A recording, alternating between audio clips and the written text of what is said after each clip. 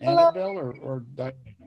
Yes, I got it. Hi, everybody. Thank you for joining us today. My name is Annabelle Haudegi, and I'm the administrative assistant for the Department of Multicultural our, moderator, our moderator today is Dr. Gordon Bronitsky, founder and president of Bronitsky and Associates and Indigenow. He has worked with indigenous peoples around the world in the performing arts and festival development since 1994. We thank him for curating the speaker series. I will let him take it away so he can formally introduce our presenter today, Mrs. Gloria Grant. Just a reminder that you are encouraged to participate and ask questions via chat. Well, thank you very much. I really want to thank Eastern New Mexico University for creating this, this series. And it really is a pleasure for me to introduce Gloria. Gloria Grant is originally from Chinle, Arizona. Her mother was Navajo, her father was an Omaha Indian from Nebraska and she comes from a family of progressive thinkers and doers. Her mother was one of the first certified teachers in the Chinle Public Schools. Her father was the founder of the Phoenix Indian Center, the first in the country.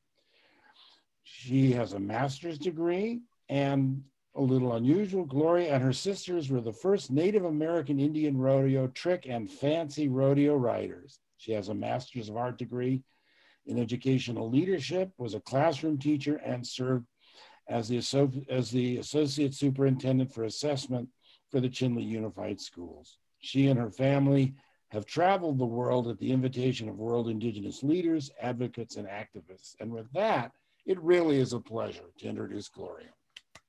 Thank you. Thank you, Gordon.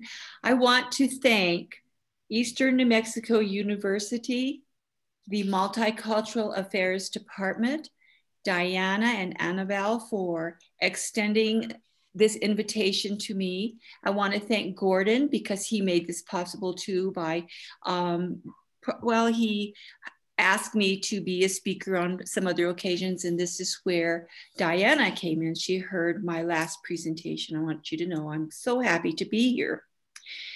My presentation today is on border town racism. And I have my notes here, and I'm just going to every now and then I'll turn and, and read my notes and, and get back with you. And so uh, my name is Gloria. I'm uh, Twitich Bitterwater, born for the Deer Clan of Nebraska. My grandfathers are Kia'ani, one of the four major clans of the Navajo, and my, my Nullies are the Wind Clan from Nebraska. And I introduce myself this way to you as an Indigenous woman who acknowledges those that came before her and those that will come after me. Um, I'm originally from Chinle. My father, like I said, he was an Omaha Indian from Nebraska who lived with my mother for 66 years in Chinle. Um, my, my father was kind of a different mold of an Indian because the Omahas lived on the banks of the Missouri River. They were gateway Indians to all of the all of the settlers and Indians that were passing, going to west, going to the west. The Omahas were the kind of the keepers of the gate, and they were very peaceful people. They defended themselves, but they also experienced racism before a hundred years before the Navajo people. So my father came out to Arizona. Uh, he had a rodeo accident and convalesced, and then met my mother at, uh, of all places, the Cook Christian Training School, and then they both enrolled in Phoenix Night School, Phoenix College. So uh, his work, like my like Gordon mentioned, he founded the first Indian Center for Indians that were in the 1950s because of the Eisenhower Act. They did they were displaced, and he, he gave a building that had coffee and a phone, one phone, and they could apply for jobs or they could take a break while they hitchhiked back to the reservations. So um, it has flourished. It is one of the, uh, he has an honor of distinction every year of being honored by the city of Phoenix, Phoenix Indian Center. Um, my father would take us on rodeo trips and vacations across this, not vacations, but rodeo trips and trips. We would just start out and he would say, your Indians don't really go on vacations. Uh, you you go and check on the land and enjoy this land because it's yours. Uh, you will find Indians in all these major cities because they were once American Indian watering holes. They were the places where when uh, when American Indians were moving around, they would stop at these various places in the Chicago, St. Louis, where the waterways were, and they would rest, they would plant, and then they would move on. They never stayed in one place because of sanitation. So um, he would say, "So claim this land. This land is is not. It's not. It belongs to you." And, and so as very young girls and young people, we grew up with a different perspective about the Turtle Island. We really did feel like this is our, we're the landlords. Um, the, uh, I, the Navajo people are located in four states, Arizona, New Mexico, Utah, and Colorado, a little bit in Colorado and there are um, 200 and let me think, let me see, there's 27,000 square miles of land and over a population of over 300,000 Navajos. And they um, live there today. I'm from Chinle, the heart of the Navajo Nation. And we have um, 15 grocery stores in, in all of that landscape, which is the size of West Virginia. So if you can think about 15 grocery stores that kind of look like Safeway located throughout the reservation, not close, not close together. And um, uh, so it's, it's, it's quite isolated. It still is today, even though we have some businesses, it isn't like you would expect it to be. Um, the term reservation is not our term. We call ourselves nations. We're nations of people because we have our own constitution. We also have our own language and our own songs and our own prayers. So reservation is an implied term. It's an imposition on our life. We, do, we are the only people in the Turtle Island that live behind barbed wire fences. This concept was taken by some of the uh, nations such as I think Germany used the concept of, of Navajo, of the Navajo nation and made it successful with, with their, um, in their history. It was a template and it's a template that was used throughout the world. What was used on us first? So that's uh, that's that's a, a, a, government type of, um, of oppression that uh, is a reality to this day. So we live by 300 and say around 340 laws more than the than the than the American average American. If we leave the reservation, we are to be imprisoned. We'd all be in prison if they if they really enacted that law. But there's so many laws that are tied to us to keep us keep us quiet, keep us out of sight, out of mind.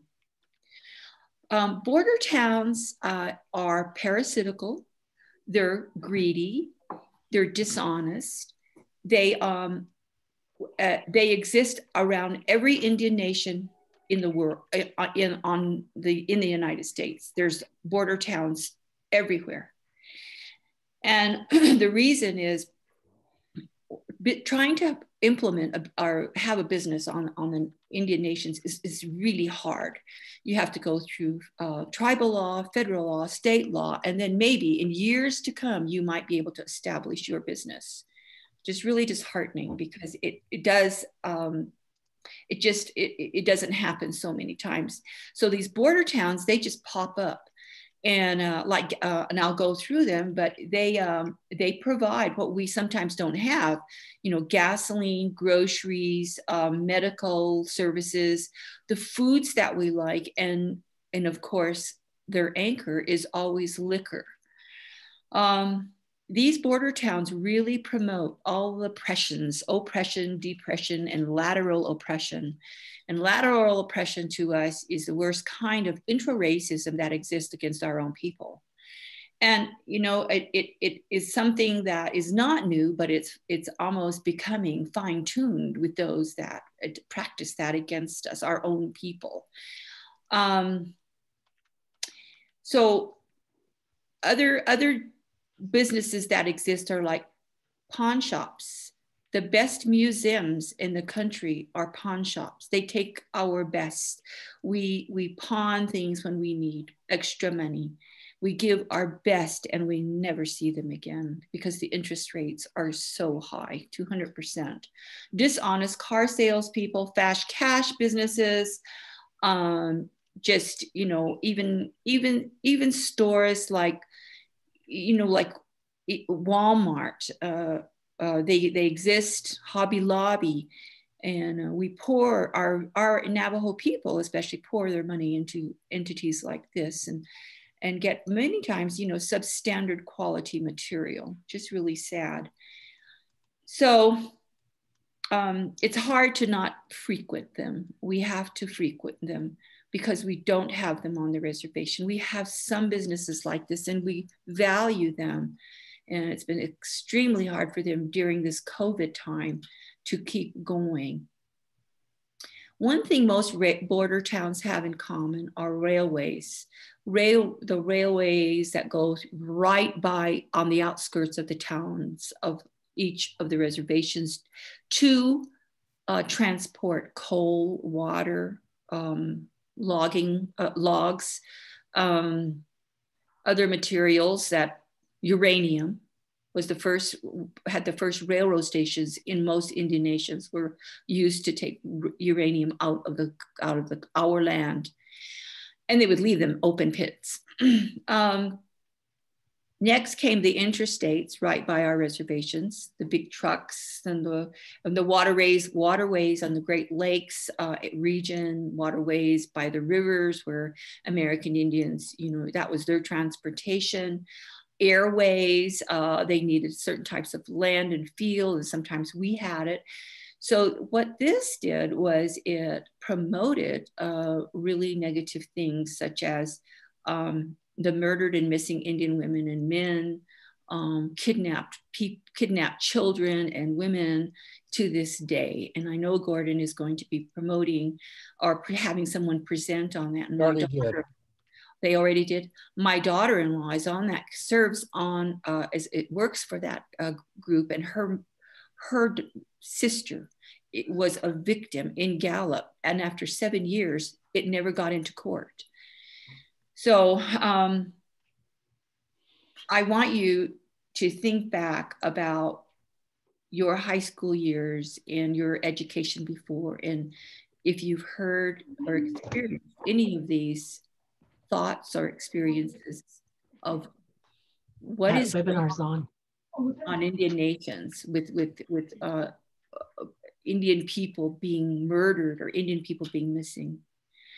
Um, this brings me to a book that I read uh, many times, and then finally, I just think I might have thrown it away. It was that Laughing Boy by Oliver, Oliver La Farge was first written in 1930 and was a Pulitzer Prize, I think, in 1938 romanticizes about a young Indian man, very traditional on the Navajo Nation.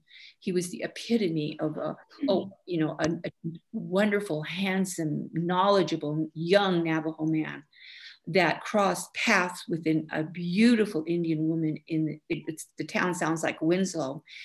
And she was decked out in the best jewelry and she was vivacious and she fell in love with him. And she married him. And his family of course they didn't know about her know who is who are her people what who does where is she from? And they cautioned him and cautioned him but you know he fell in love with her. And then on weekends she'd disappear uh, one weekend he has to go into Winslow and he finds that she's partying with railroad workers and disappeared into a room. And um, he, he, he was so heartbroken. So he went home and she came back and they had argument and everything. And he, she was a prostitute. And that's what she did on the weekends with the railroad workers. So this book, even though we used it as high school reading material in, on the reservations, it, it, was what it did was it, it, it um, promoted uh, stereotypical images of, of what our women probably are really like. Oh, they're just prostitutes. They'll do anything for money. Give them chocolate. And um, they banned this book, the American Indian uh, a, a, liter, a literature group, and then they put it into schools and said, "Don't give this book out to to our Indian children to read. It's it's negative, and we don't want it anymore on the shelf." So Laughing Boy has gone. Think about those books that kind of promoted cartoonish, funny, romanticized, dehumanizing images of American Indians. That promotes, that's, that's systemic racism in school.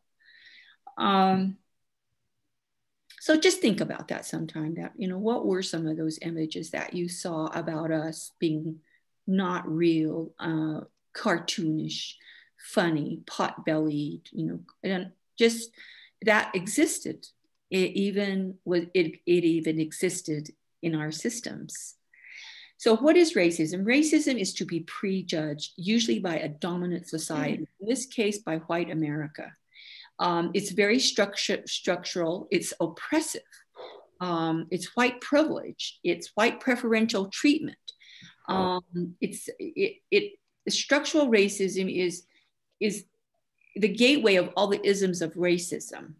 And I, I read this a little uh, paper on, it's not little, but I read a good re- pa- paper on race and public policy by uh, Keith Lawrence and Terry Keleher from Berkeley in 2004. And they used those terms, structural, systemic. It was kind of introduced at that time. The other day I was listening on TV and there was a, a very prominent black politician and he said, uh, systemic racism doesn't exist anymore. And I stopped in my tracks and I thought, I got to hear this. So what he says is, and this is food for thought, and, and since we're all in education and educators, we always need to be open to new learning like this. It like uh, it, systemic means it's practiced. It's practiced in housing, in education, in health. Um, uh, what else? In almost all walks of life, we have we have this practiced racism. Well, he says that doesn't exist anymore because it it it's no longer practiced. It's become a way of life here in America. And you think about what we've been going through with the last year in politics and you know black men, black lives, murdered and missing Indian women. You know this systemic racism is is out of sight, out of mind. um, the overt and covert acts of racism are are, are, are, that's lumping them into two areas that I, I know about too. That overt racism is you go into a store, you, they don't want you there. They let you know it. They're not going to serve you. They have a sign out front, no Indians or dogs allowed. You go in anyway. Yep, they don't want you there. Covert is covered. They know you're there, but they ignore you just want you to go away. They don't care if your dollar is green. So, you know, the, we as American Indians, I speak as American Indian woman because I know of this as a, I can't speak for everybody, but I do know that, you know, we do, we, this, this even happens in the border towns. Can you imagine? They, they, um, they want our money, but they don't like us.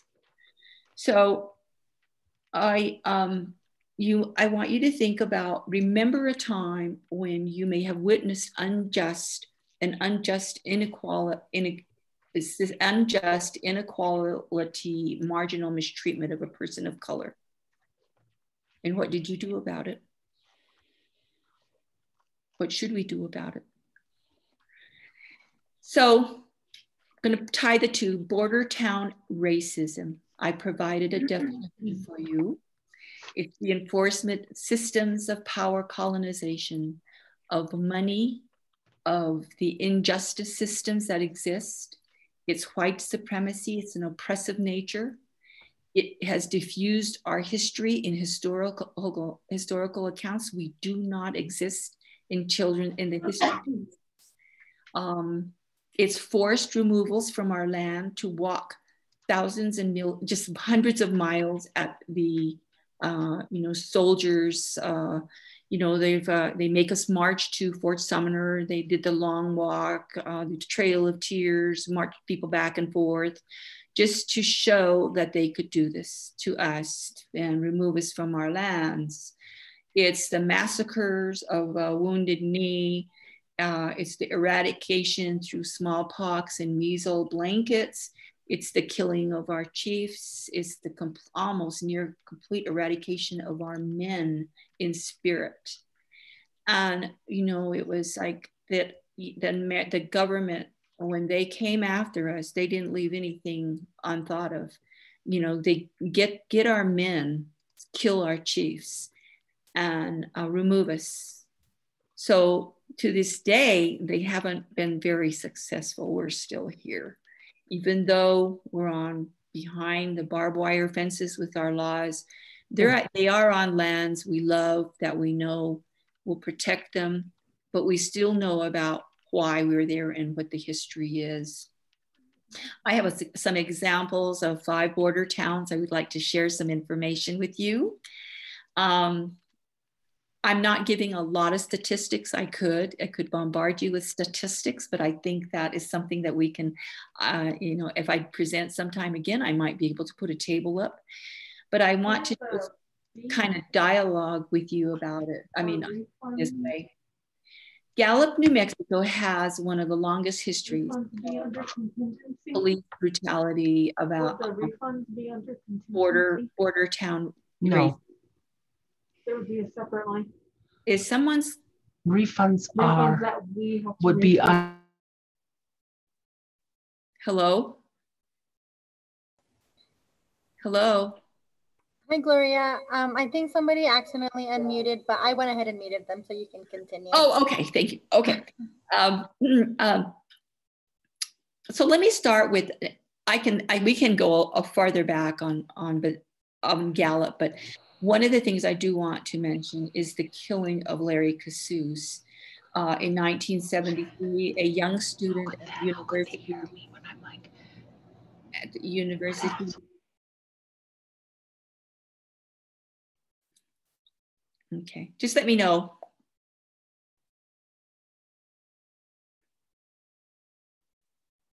Hello?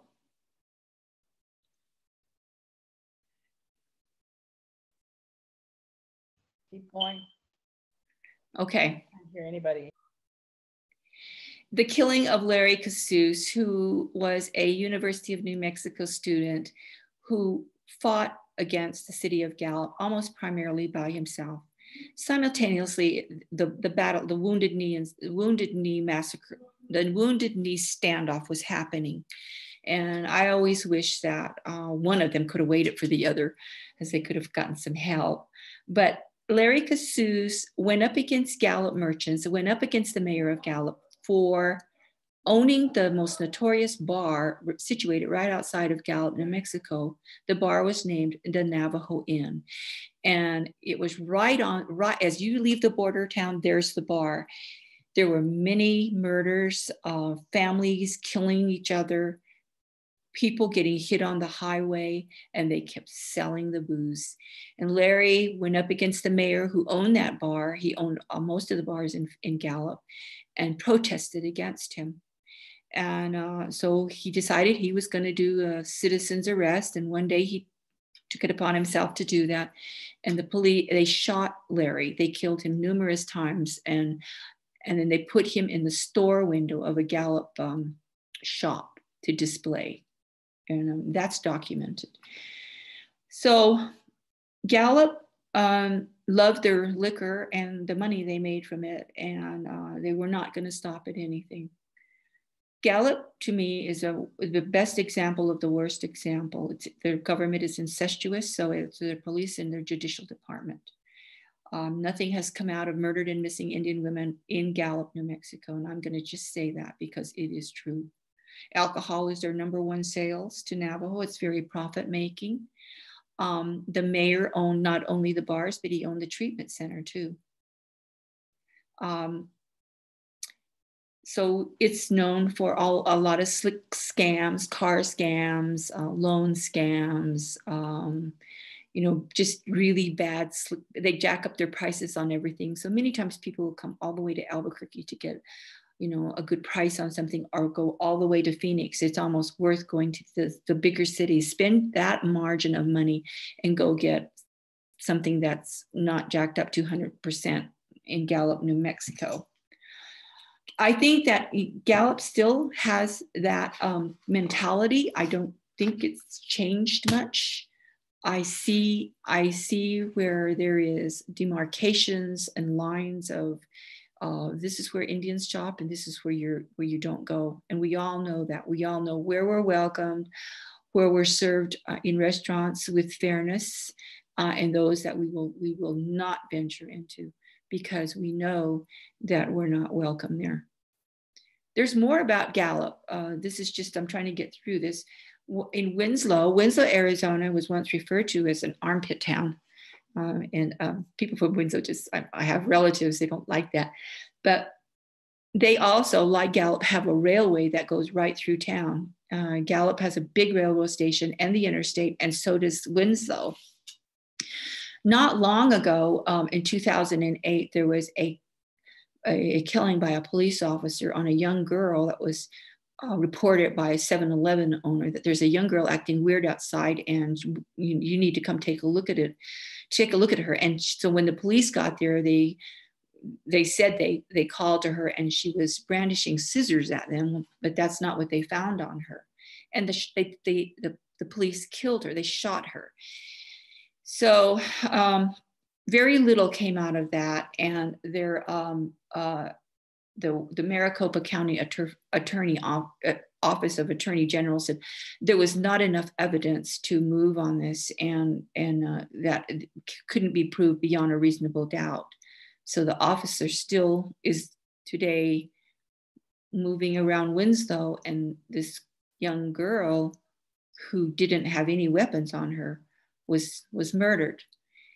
And it was told that the the um, white people in Winslow on the weekends they know of incidences where they let their children go out and beat up and abuse Indians on the on the streets. They they they hurt them, and they know about it, but they won't tell about it.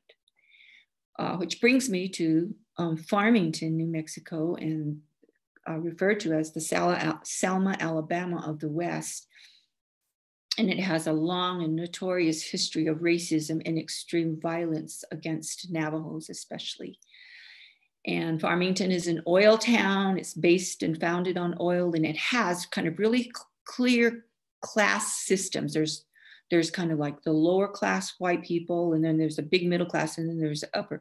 And they kind of they don't really. Um, it sounds to me when I read the research, it doesn't sound like they they they talk much, but they agree on one thing, and that's they hate Navajos.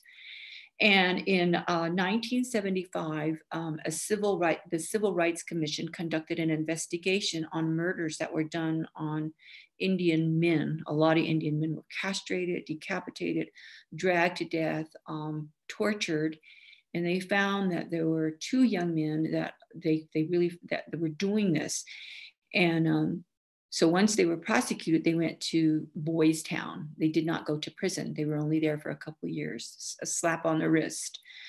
So what I find in towns like this is that you have police departments that lack credibility. They don't complete investigations, they don't complete their reports, and it's really hard and, and worse when it's a Navajo. So when you go and you want to find out more about the investigation, it's going to be incomplete and it's never going to be finished. And that's really a sad statement, even in this day and age. So that's the type of extreme racism that um, exists in some of these towns. There's a book called Broken Circle by Rodney Barker, and I know that uh, Gordon uh, said, "Don't forget to talk about you know Broken Circle because it's about this town. It's about these atrocities. So if you can get a hold of that book, and at the end, I'm going to suggest some reading. Um, this is a, I guess Farmington has one of the best examples of cultural racism. And it's, I don't like you just because the way you look. I don't like you because of your skin color, and I don't like you because you're Navajo. Cultural racism, it doesn't even have to be, you know, um, I don't like you because you live in that in, in low rent housing. It's I just I don't care where you live, I don't like you. So um, Farmington is one town that uh, if I don't have to go through there and if I don't have to go to Lotaburger and buy some buy a burger in Farmington, I won't. I'll go to Shiprock. I'll come home. Um, I just uh, I'm not afraid of them. I just don't want to participate in their economy. And we are the lifeline to these border towns we supply them.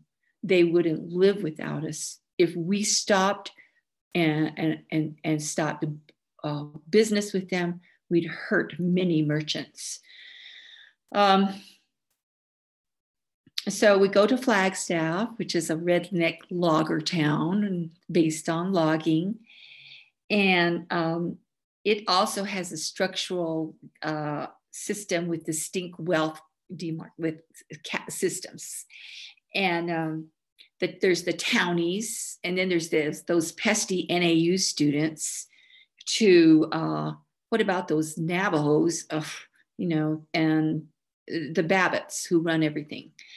So um, it's not really a very safe town for us. I was just talking about this the other day about, oh, I feel so glad that people seem a little happier with what happened the other day with the results of the of candidacies, and they just seem a little lifted. And somebody wrote to me and they said, not in Flagstaff. We went there, we were treated terrible. So it doesn't matter what the what the what the climate might be like in the outside world, where people are a little maybe a little bit happier and see, see change. They still don't want to see you happy, and they don't want they're going to make you unhappy or you know they're they're going to oppress you. I mean, you have to take it in. We can't take it in. That's up to us. So Flagstaff uh, makes its money on, on logging and tourism. Um, NAU campus is there. I don't see much interaction ever between campus and town, not really, except for the bars. Um, they used to have a, an event called the Flagstaff Indian Powwow, where I mean, Indians from all over came and they they had this great time. We rodeoed there. There was the carnival and there was activities and lots of different tribes would come in. And, and it just seemed like half of them were in jail. And then when they were, when the town jails filled up, they transferred them out. Then they built their own quick jail right there on the where the rodeo grounds is, and it would be filled to capacity with Indians there, but they would still get their money. Um, a lot of our border towns are like this. They promote things that they say, oh, it's um, for uh, come see the Indians, and we're gonna, you know, we're gonna put them in a parade, and you, you can buy jewelry from them, but they're hoping to sustain their business and their liquor business. So, um, I um, and named about five towns. And then there's, of course, Page, Arizona, where the remark was made by the lawyer that, I mean, the mayor to uh, our president. I wish you'd take just as much interest in uh, your alcoholic Navajos as you do in COVID. And he had to apologize for that, that the president of our nation demanded it. We have workers there that work in the plant. We have many Navajos that live there. We have a state and federal budget that supports their public school programs. So sometimes I think people just, you know, they they they just want to make it known where they stand and and many times they don't care what they say. Um, I'm going to skip down to uh, some of the racist cities that we deal with that I know of, the super racist cities. Um, so the stealers of these are the interpretation of, of uh, like we say Bilagana, that means those that come to fight us. And then the Lokotas, they call them Washichu. And Washichus means stealers of the fat. They come and they get the best part of the meat and they leave the rest. So the stealers of the fat cities are um, Rapid City. Not until recently, we could see signs there that said no Indians or dogs allowed. Tulsa, Oklahoma, the same. Great Falls, Montana. Billings, Montana. Salt Lake City, Utah. Denver, Colorado. Bismarck, North Dakota, and Phoenix, Arizona. So it's it's knowledge knowledge among among us as native people. We know these things. We know which cities are like this. We know which towns. It's something that we had to grow up with and become and confront. Yes we know it. And no we will not go there. And yes we will go through. sometimes when indians come to the navajo nation fair the lakotas they would leave there um, at night and travel in and get here in the morning. When they Yeah, left, about 10 minutes, Gloria. they left at night only to, and they knew all the back roads. So they wouldn't chance it with the cops. Indians don't have a chance. My sons, I was married to the late Russell Means for five, 15 to 16 years. I have two sons for, for Russell. uh, Tatanka Means and Natani Means, and this is their life work. And I'm always telling them, take heed, be careful, you know, watch your back. And they, but they grew up like this. And so they know about traveling and, you know, how to be careful. They don't travel at night. They, they travel regular, like on airplanes are in their own cars, but do want them to be careful. Um, what, what is it that we can, we can do with facing inequality, injustice systems, racism, are the historical lies about us. We, we need to be involved, uh, we don't want to sometimes, in the political landscape. We need to be able to push legislation. We need to have policy in place. And if it's in place, why isn't it being addressed? This is this is where we need to go on the with our with our nations and if and at the state level. And right now it's a very good time. So plan forward. What should we do? Be involved with groups with the church groups looking at the indo- what the, the doctrine of discovery. They're all looking at that now. Be uh, aware of platforms and discussions. And i like new mexico because they really get involved. They get right out there. I just love it. Um, know what your school curricula is is uh, touting. Um, be involved with legislation, what's happening at the state level, and help to support help to support them. Planning forward, we need to have hope. We need to be present at the table. We need to participate. We're human beings, all of us. We all bleed red. We need to have, we need to be reasonable. We need to reason. That's the power we have as human beings. That separates us. Besides our thumb, we can reason. We need to educate, and we're in a good place of that right now with Eastern New Mexico University. We need to be politically involved, get involved if, it makes for change. We need to exhibit gracious acts of kindness.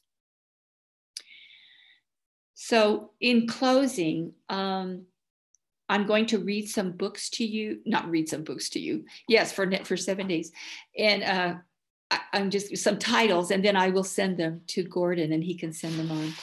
But uh, I do I do recommend you read Laughing Boy by Oliver La Farge, just to know like what I'm talking about. Bury My Heart at Wounded Knee by Dee Brown.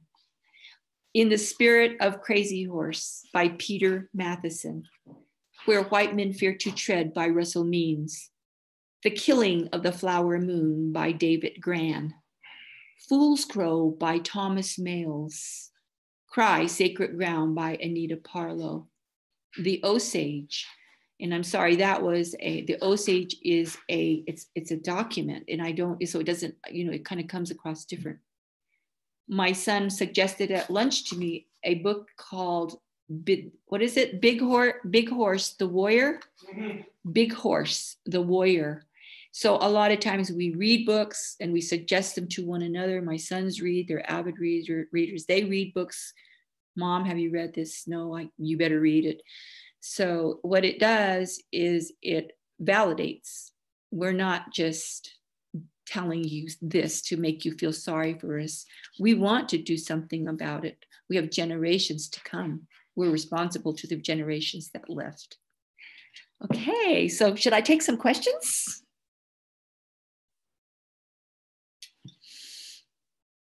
Gordon.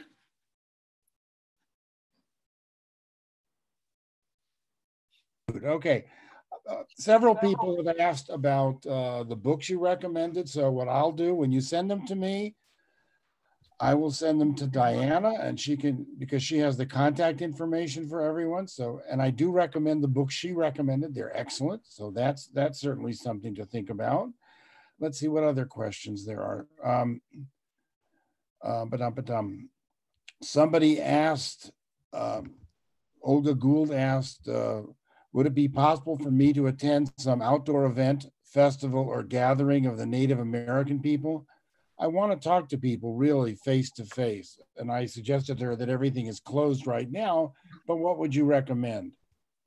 Well, I recommend that you know symposiums like this that is that are being uh, uh, platformed by the different universities because uh, it, it, they do they do exist also if you get online and just kind of peruse it there there all the indian nations uh, have links to uh, chats or or information that they're sharing um, so you know i you could find most anything if you go to say the Navajo Nation and the web page comes up, you know, something will come up where maybe something in legislation or people that are talking about an issue that you, you would be able to link on, such as with my uh, my cousin Zonnie Gorman. She does a, a wonderful presentation on the Navajo code talkers, Carl and Mary Gorman, or their daughter Zonnie um, Zonnie Gorman, and you could go to Code Talkers, Navajo Talkers, and you, her link will come up. You can also go to Klee Benally, K L E E Benally, who I really support because of his efforts of working in Flagstaff. You know, uh, he works so hard against racism every day and the homeless and Snowbowl being watered by the sewer system it's that's our sacred mountain so you could go to um, oh gosh, I would say, you know, Klee Benally and his, his website will come. They link to many others. They, they it'll just keep you going. But American Indian uh, topics and symposiums, you might be able just to Google that Okay. and try to get them. And here's another question. Can you hear me? Yes. Here's a question from Chantier Fulgham. In all the cities you listed a moment ago, are they still against natives or was that a while ago? There's still ex- that exists to this day. They are still um, uh, murdering Indians. Uh, they they are in jail for, I mean, unjust amount of times. They do not have representation. No, we we have uh, racism in the police departments is rampant, and they hurt our people. And they and even the townspeople they can tell lies and the police will just come and get them. There's no there's no ju- there's no here i mean the system is there it's like a kangaroo court. It, it still exists. And um, we have to we have to know we have to inform one another if, if you make one phone call in denver be sure to make it to glenn morris or somebody like that you know you need to know who to contact so they know you're you're in jail because it's scary. If you don't know people or you can't get a hold of somebody, you don't know how long you're going to be there. Okay. It exists. Here's an observation from Michelle Ben. She says, It's not a question, but to further your point, I'm from Gallup, and when our city locked down for a week due to COVID, it was a ghost town. Without the Navajo community, this town's economy would be terrible. Thank you for adding that. Thank you. It we were like oh, and and it was there was so much peace on the reservation. It was just my sister said that she could just feel the peace of uh you know it being quiet and not crazy and we could shut these border towns down if if we really made an effort to not go and shop there and um, gallup would be the first to come to its knees Here's an observation from Jareen Yazzie. I'm from Sheep Springs, New Mexico, and have to travel to border towns consistently for my grandparents and have experienced a number of accounts with individuals in Farmington. It is very sad to see. It is. Speak up, though. You know, tell them. You know, we're we're um. I'll, you can you speak up if they're if they're if they're being hurtful to your elders. Uh, just say you. You yeah, Natani just said, be careful of your surroundings and be careful of and watchful of where you're always at. But you can report them. You write to the president of the Navajo Nation. Let the Better Business Bureau, of, for what it's worth, the Better Business Bureau of Farmington, take a picture, record it, say, um, tell them, I don't like, speak up. I don't like the way you're mistreating my grandma and grandpa. And uh, what, what can they say? And, and be sure not to frequent there anymore. It's really hard with your grandparents because my dad would go to business places and they treated him in Gallup like, oh, I mean, yay, Mr. Grant. And then it weren't always like that to other people. So sometimes I would see that in my family. but he knew it existed and he'd be the first to call. call Here's a follow, here's a follow-up from Jalissa Duffy Marquez. As a Gallup, New Mexico native and Navajo woman, I've spent most of my own life battling lateral oppression and violence. What are some tools you could recommend to help with this issue? Thank you. Well, lateral oppression is really it's almost it's so insidious. I would I would speak up.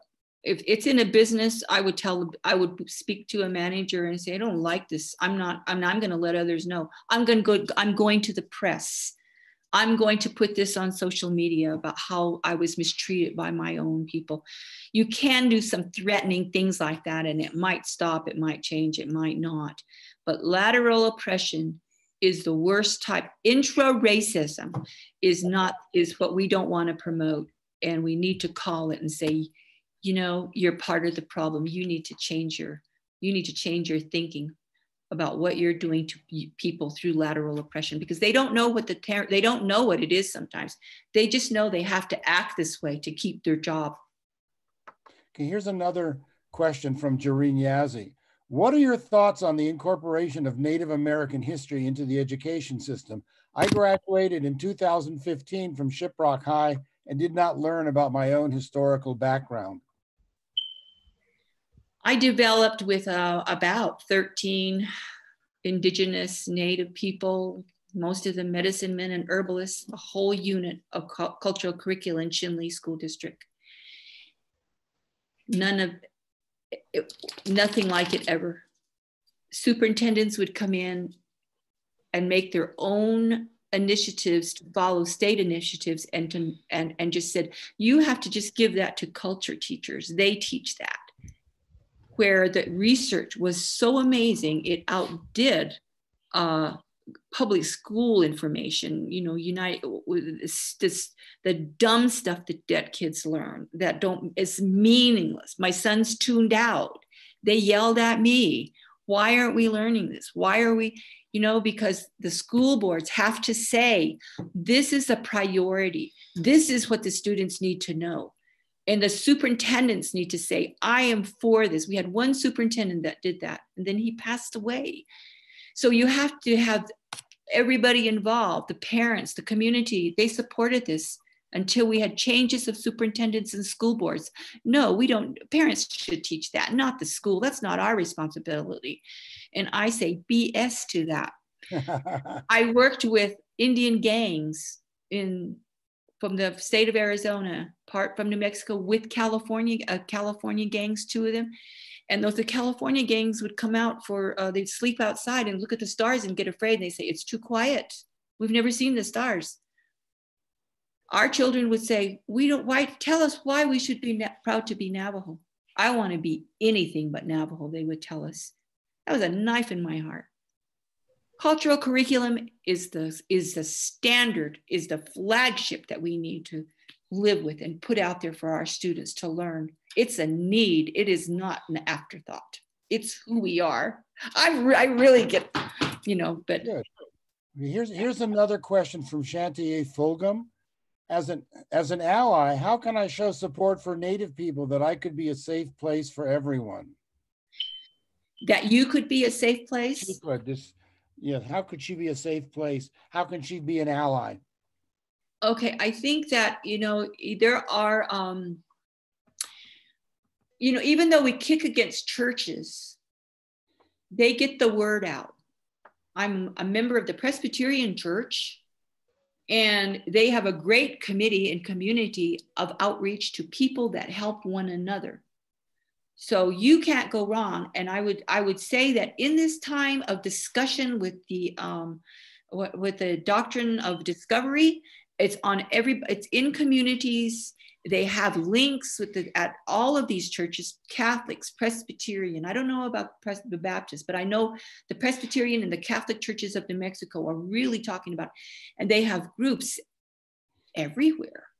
Laguna uh, santa fe albuquerque but i would look on you might want to google that on the doctrine of discovery santa fe and see if they link up to their, eh, people that could you could be with as a support group, uh, I would do something like that. It's a great thought. Yeah. Here's a question from Brian Pasco. You mentioned abandoned uranium mines. They're a large health and safety problem on the Navajo Nation. Is this a priority for the nation's governing body? If not, what can be done?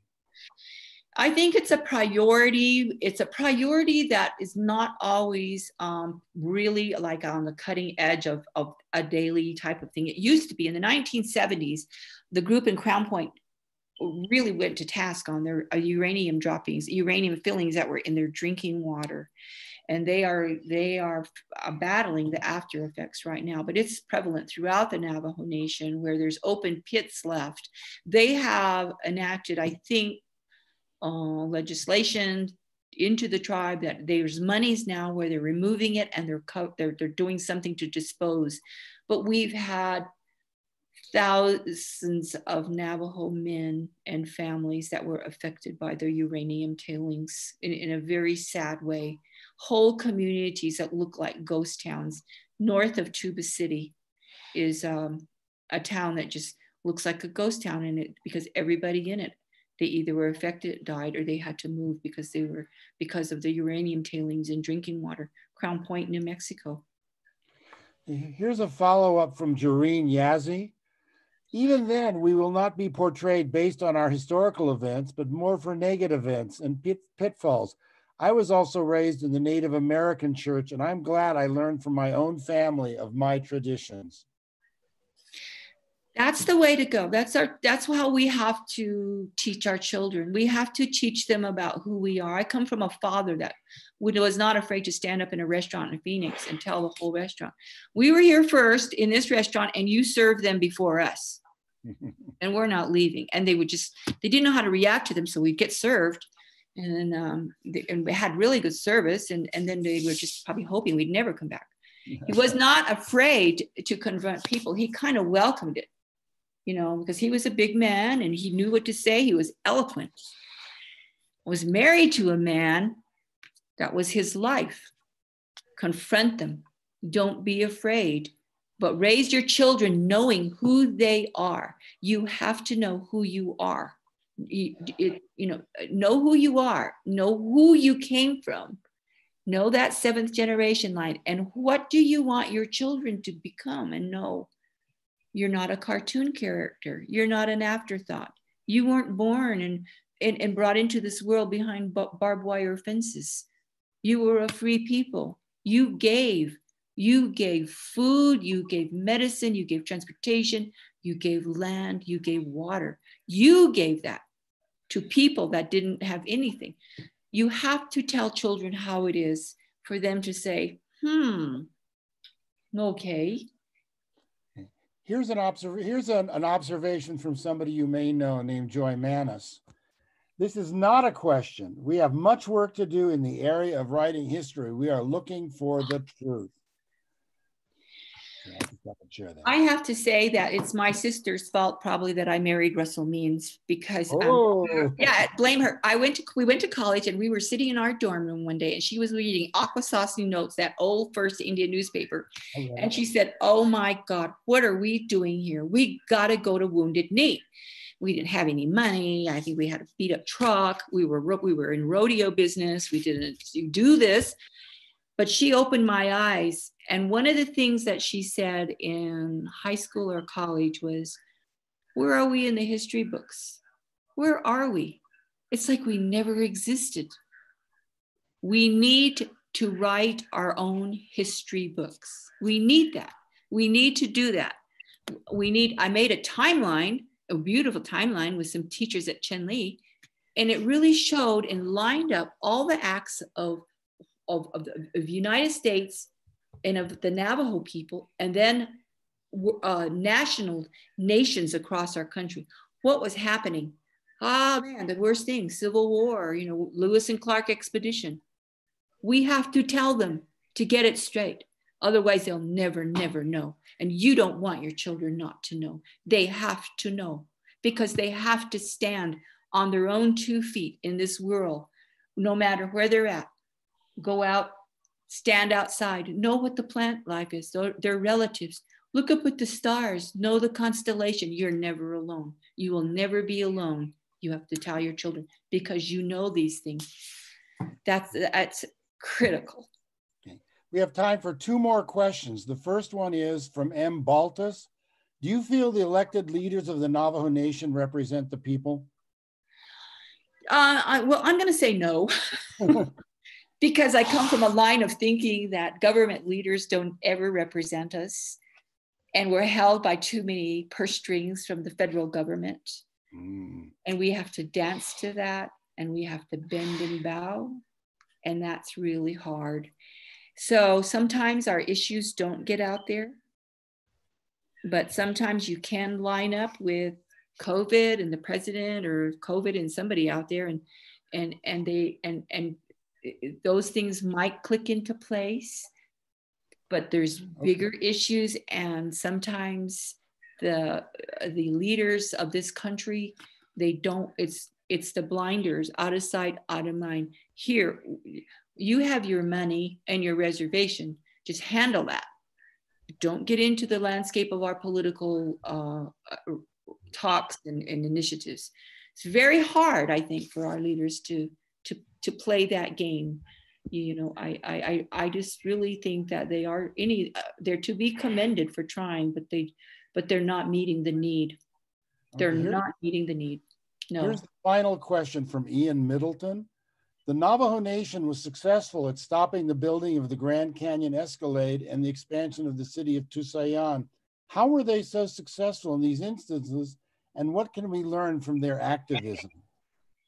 I like that question because I, I need to I need to learn about that. Um, I do know the Havasupai, the Wallapai really got involved in that initiative. They must have some really good representation out there because we've been fighting for Snowbowl for a long, long time. And uh, what what white America hates to hear from us anymore is this is a sacred site. It means this to us. They don't get it, and uh, and they never will because it it's it's it's not meaningful to them. So I have to say that this must their initiative must that's something they should really talk about and really tout and i need to know about and i'm going to find out. And i'm i want to thank you for asking me that question. I'm going to find out why they were successful and what made what made it happen. Thank you Okay, I think that brings us just about to three. Annabelle, if you'd like to uh, wind it up and talk about our next speaker. Annabelle? Yes. Thank you so much. Thank you everybody for joining us today and a special thanks to Dr. Bronitsky and Mrs. Grant for that incredible presentation and all that useful information. everybody, please don't forget to register for our next event during his during Native American Heritage Month on Tuesday, November 17th at 2 p.m. And the presentation is going to be on Fashion Talk with Navajo fashion designer Virginia Ballenger. be on the lookout in your emails for the registration link. And Can I, in closing, just say th- thank you so much, Diana Annabelle. Thank you for communicating with me, and thank you for asking me to be a part of your month. And I don't go around thinking like this all the time. I'm not always a border town racist. I love life and I, I enjoy it and I work really well with people. But I also think we have to keep an open mind about how we're educating one another and what are the what are the benefits. And and your platform is is a real benefit. It's good. We need to educate in this way. It's enlightening. Old stuff, but it could be good learning. Thank you. Thank you all for your questions. Gloria, I attended, this is my second presentation with you and it's, you just, I just absorb every time more and more and more. So you're a delight. Thank you. Thank We really you. applaud. Thank you. Thank you, Diana. Thank Thank you everybody for attending. We look forward to seeing everybody. Thank you, Gordon. Thank you. Thank you. Gordon. Take. Till the next time. Bye-bye.